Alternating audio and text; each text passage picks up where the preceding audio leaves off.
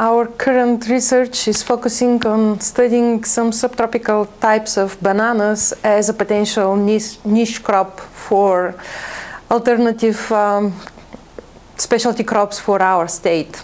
Currently, we're having uh, three studies, one here uh, on our campus at Auburn University, one in Fairhope, and one at the grower site uh, on the Grand Bay.